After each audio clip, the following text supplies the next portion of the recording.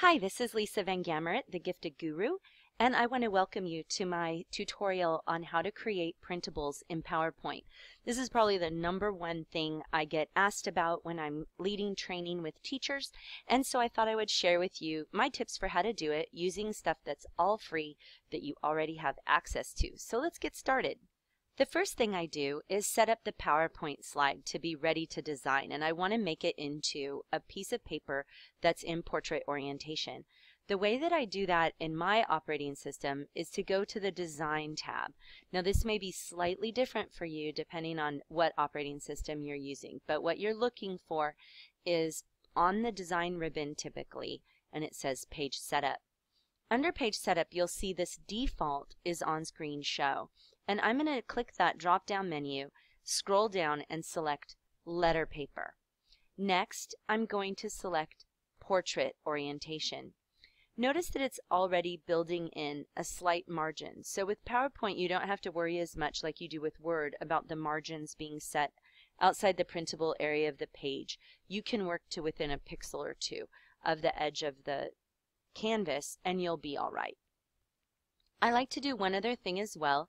Under View, I like to check this box, Grid Lines. That helps me see that everything is lined up because I can line things up along these grid lines. Now that I've got my PowerPoint canvas ready to go, I need to go find the things I want to use, the elements that I want to use in the printable. The website that I use to find backgrounds, borders, and frames is this one, mycutegraphics.com. I know the name kind of wants to send you into diabetic coma, but I promise they've got great stuff and they're totally free. They're very, very generous with their um, with their resources. So I'm going to go to the backgrounds and I'm going to scroll down and look at my options. Now these are the different background families that they have. So all these will be backgrounds in pink. All of these will be plaid. This is not the only background that they have that's plaid. These are just the choices. You can also see more of them that are specifically holiday. I'm going to choose a striped background um, in order to not be too cutesy for those of you who that's not your style. Those of you who are, feel free to explore to your heart's content all of the wonderful, really cute backgrounds that they've got. So I'm going to choose this gray and blue striped background. So I click on that and it will take me here. I'm going to right click and then it will say all these options. I'm going to save image as and I've created a folder in my folders just for images and backgrounds. So I'm going to navigate to where I have that in my computer, but for you it will be different. It may be a file that you create just for it. It may be that it will go to your downloads, that is totally up to you. If you're not used to doing downloads, you can create a folder on your desktop and then save it to there. So now I have the background I'm going to use. Now I can look at the different frames. Now these are the frames that would go on top as like a label on a front page, for example. And there are four pages of them available here. I'm going to look for one that's fairly simple and straightforward. So let's say um, these are a few of them. And I don't have to use this frame. I can actually create one in PowerPoint itself using a shape. So if you would rather have one that's more streamlined, you can do that. You can also use the ones here that are a little bit more elaborate. These, um, some of these are can do an entire page. So I think that for my purposes today, I'm going to show you two different ways. And let's take, let's see, I had blue and gray. None of these are really grabbing me. So I'm going to go back to the first page. And this is exactly the process that I use. I just go through and look. So I think I'll use this one, just this black and white bracket frame. Although, you know what, those lines, yeah, that's good. Black and white bracket frame. Again, it's just whatever you want. Again, it will take me to it when I click on it. I'm going to right click and I'm going to save image as. Now that I've already saved in that file, it's going to take me right back to it and I just click save. Now I have a background and a frame in the file ready to go. And I will go back to my PowerPoint. I'm going to click the Design tab again. And once again, this is going to depend on your particular operating system. For mine, which I'm working in PowerPoint 2010 on a laptop, I click on Design Background Styles, Format Background. So there are a lot of steps here that yours may not have. You're trying to get to the background styles and how to format that background. It may be slightly different, but if you have PowerPoint 2007, 2010, and you're working on a laptop, it'll look like this. I'm going to click on Picture or Texture Fill, and I'm going to insert the picture from a file. I'm going to navigate to where I stored those images that I downloaded. And remember, I have created a folder for it. There's my picture I want, my image, and it's very important that you click this box, Tile Picture as Texture. Then I click Close. Now this is the background, and you can see these lines. You can take those out later, so I could click on View and uncheck those grid lines, and you would see what it will really look like. I'm going to leave the grid lines because that helps me line stuff up. Now I'm going to insert a frame to go on top of it by clicking Insert Picture and choosing that frame that I selected. It will, I double click on that, it inserts into my page, and I am going to line it up and see how those grid lines come in handy. I can line it right up with that grid line. Now, I can actually double click on this and select color and I can change the color of the frame if I want it, if, if I want it to be different. And I'm actually going to select this one, which makes it a gray outline rather than a black outline because that matches what I'm doing here just a little bit better. It matches that background I selected. So now I'm going to click on Insert, Shape, and I'm going to select just a plain old rectangle and I'm going to start on the left edge of my um, screen of my slide, my canvas, and stretch it across the canvas. When I double click on that frame, then it lets me choose how to format it. I have selected under Shape Outline, I selected No Outline.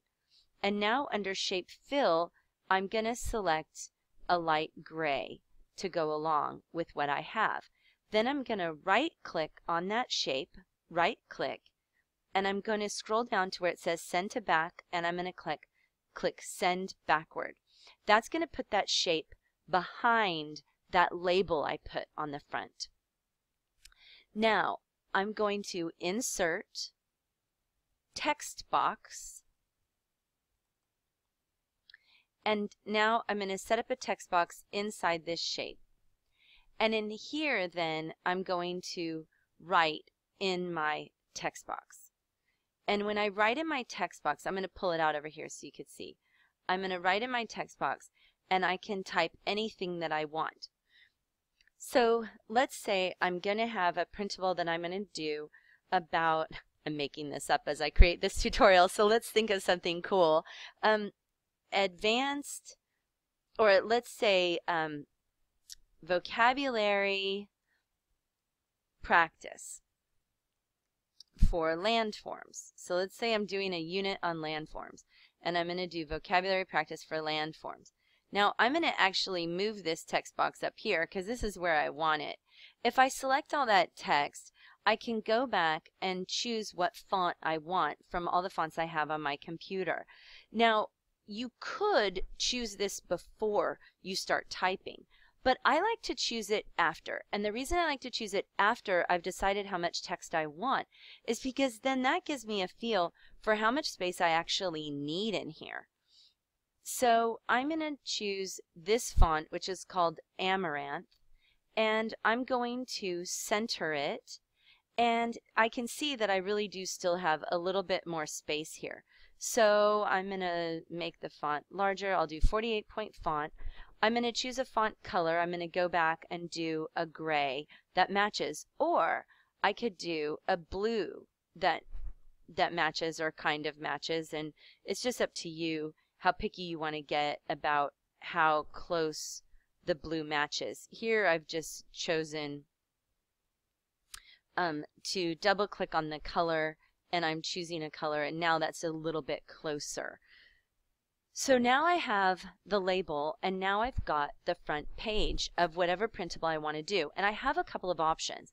I can click Control M to create a new slide and I can actually just duplicate um, what I've done by clicking duplicate slide and then taking off these elements and putting in a different element or I can use a whole new slide like I created by clicking Control M and now I can just have a blank slide that I can go with and type in my vocabulary practice for landforms and start typing whatever it is I want in my printable.